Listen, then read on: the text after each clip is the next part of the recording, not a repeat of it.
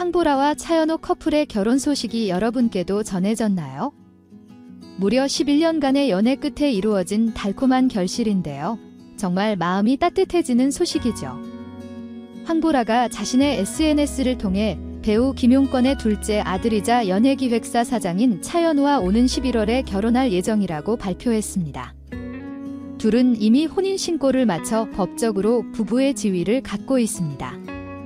차연우, 본명 김영훈는 1980년생으로 하정우의 동생이며 두 사람이 예명을 사용하면서 서로 다른 성을 갖게 된 사실이 흥미롭습니다. 하정우의 본명은 김성훈이죠. 또한 김용권에게 새로운 가족 구성원이 생긴 이야기도 놀라웠어요. 김용권은 39세 여성과의 사이에서 아이를 가지게 되어 작년에 아이를 출산했습니다. 이 둘은 2008년 한 드라마의 종영 파티에서 첫 만남을 가졌고 이후 13년간 굳건한 관계를 이어왔다고 해요. 당시 김용권의 나이는 63세였으며 그의 여자친구는 24세였습니다. 13년간의 교제 끝에 임신 소식이 전해진 가운데 해당 여성으로부터 중절을 강요한 혐의로 고소를 당하는 상황에 처하게 되었습니다. 그동안 서로 미래에 대한 약속이나 계획을 세운 적이 없었기 때문에 이 소식은 기쁨보다는 오히려 걱정과 놀라움이 앞섰다고 해요. 본인의 나이, 양육 능력은 물론 사회적 시선을 우려하여 아이를 가지는 것에 반대하는 입장을 밝혔지만 시간이 지나면서 아이의 중요성을 깨닫고 이제는 아들들에게도 이 사실을 고백하며 그들의 응원을 받아 출산과 양육에 책임을 다하려는 의지를 표현했다네요. 하지만 김용권의 입장에서 보면 이번 혼전 임신 사건이 그동안 쌓아온 명성에 부정적인 영향을 끼칠 수 있다는 우려가 생기기도 했습니다.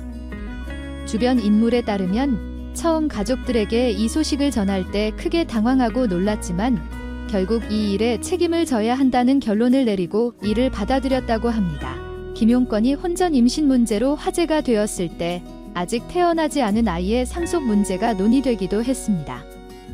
하정우로 잘 알려진 그의 아들과 무려 43세의 나이 차이가 나는 것도 놀라운 일이지만 43세나 어린 새로운 이복 동생이 태어날 예정이라는 소식을 듣고 받아들인 것이 인상적입니다. 여성 A씨가 김용권에게 아이를 지우라는 요구를 받았을 때 그녀는 13년 동안 몰래 만났는데 이제 와서는 내 뱃속의 생명마저 지우라고 한다며 김용권의 남은 인생이 중요하듯 한 여자의 인생도 소중하다. 이는 이기적이고 책임감이 없는 행동이다라고 말하면서 김용권을 낙태, 강요 혐의로 고소하였습니다. 네티즌들 사이에서는 서로 사랑했다면 이러한 일까지 가지 않았을 거라는 의견과 함께 여성이 꽃뱀일 가능성을 제기하는 이야기도 있었습니다. 어떤 이들은 그 나이에 왜 피임을 하지 않았느냐며 안타까워했고 그 나이에 임신이 가능하다는 사실 자체를 놀라워하는 목소리도 있었습니다. 이 사건으로 인해 김용권은 나 혼자 산다에 출연했을 때 받았던 긍정적인 이미지가 훼손되고 나 혼자 산다라는 별명까지 얻게 되었습니다. 자녀들이 아이를 낳은 지도 꽤 되어 손자 손녀를 볼 나이가 된 상태에서 80에 가까운 나이에 늦둥이 아이를 맞이하게 된 것에 대한 그의 심정은 어떨까요? 처음에는 나이와 사회적 시선을 고려해 낙태를 권유했을 수도 있지만 여성의 입장에서는 그러한 요구가 충격적이고 배신감을 느낄 수 있는 부분일 것입니다. 이처럼 낙태를 강요한 것으로 추정되는 상황이 벌어진 것입니다. 김용권이 결혼 생활 20년 만에 이혼한 후 재혼 없이 독신으로 지내고 있다는 사실이 알려져 있습니다. 김용권과 그의 전 부인 사이의 불화는 자녀인 하정우와 차현우가 어렸을 때부터 시작되었다고 하네요. IMF 시기에 전 부인이 경영하던 빨간 양말 사업이 부도나면서 막대한 빚을 지게 되었고 결국 모든 재산을 잃고 차량 한 대만이 남게 되었습니다. 하정우가 어느 날 집으로 돌아왔을 때 아버지 김용권이 베란다를 멍하니 바라보고 있는 모습을 목격했다고 전했습니다. 이 사건이 결정적인 계기가 되어 김용권은 아내와의 이혼을 결심하게 되었습니다. 김용권은 원래 성우 출신으로 과거에는 성우에서 배우로 전향하는 경우가 많았습니다.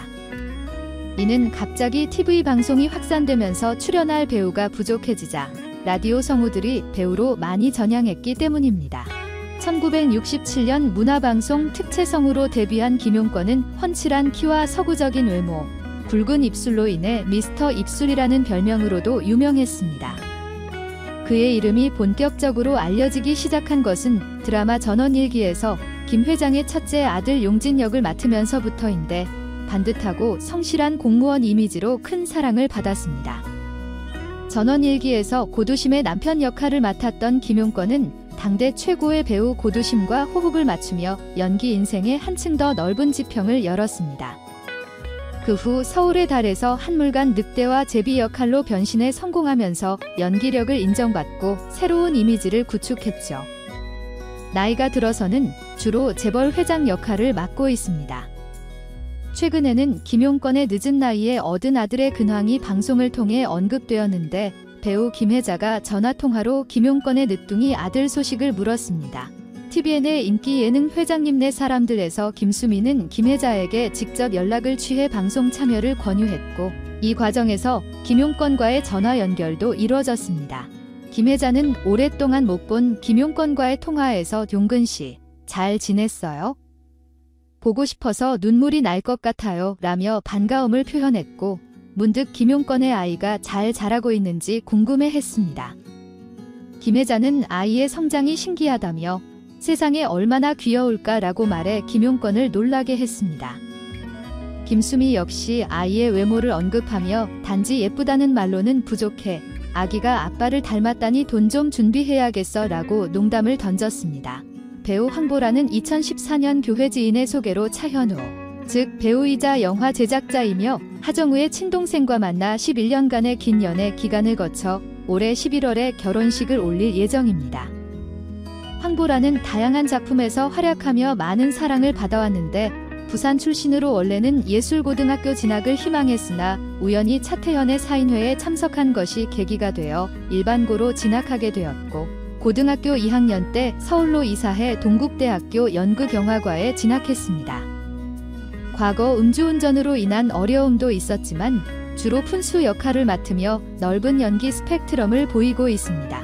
현재는 하정우가 설립한 연예기획사 워크아웃 컴퍼니에 2018년부터 소속되어 있으며 차현우 대표와의 11년간의 연애 끝에 올해 11월 결혼을 앞두고 있습니다. 이미 법적으로 혼인 신고를 마쳤기 때문에 법적으로는 부부의 지위를 갖고 있습니다.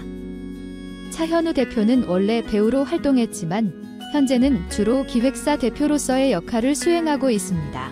하정우는 아버지 김용권을 자랑스러워하면서도 아버지의 이름을 빌려 자신의 길을 걷고 싶지 않아 영화계에 몸담게 되었습니다. 초기에는 무명의 시간이 길었고 이로 인해 아버지 김용권의 걱정을 한 몸에 받았지만 시간이 흐르며 하정우는 대한민국에서 가장 사랑받는 배우 중 한 명으로 자리 잡았습니다. 이제는 김용권이 하정우의 아버지로 알려지는 것이 일상이 되었죠. 이 가족 사이에는 황보라가 차연우와의 결혼으로 새롭게 스타 가족의 일원이 되어 가족의 명성을 더욱 빛내고 있습니다. 황보라는 차현우 대표와의 신뢰와 애정이 깊어 회사와 계약까지 맺었으나 결혼에 이르지는 않았습니다. 차현우는 결혼을 자신의 능력으로 이루고 싶었고 이를 위해 영화 제작에 전념했습니다. 황보라 역시 차현우가 제작한 클로젯과 백두산의 홍보에 힘썼습니다.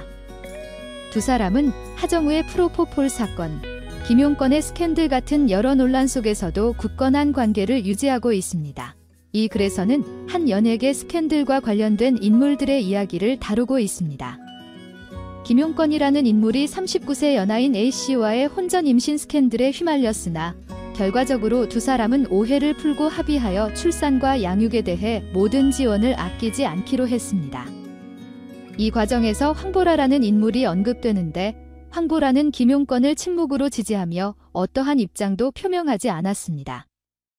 황보라는 가족 행사에 적극적으로 참여하고 분위기를 띄우는 등 예비 며느리로서 긍정적인 모습을 보였으며 김용건으로부터 여러 가지 선물을 받으며 예뻐받았다고 합니다. 황보라는 연기자로서 다양한 작품을 통해 매력을 보여주었으며 11월에 결혼식을 앞두고 있어 많은 이들이 그녀의 행복한 모습을 기대하고 있습니다. 이 글은 황보라의 결혼 소식을 축하하는 내용으로 마무리됩니다. 이번 영상 여기까지입니다. 시청해주셔서 감사합니다. 많은 의견을 남겨주세요. 그럼 다음 시간에 또 만납시다.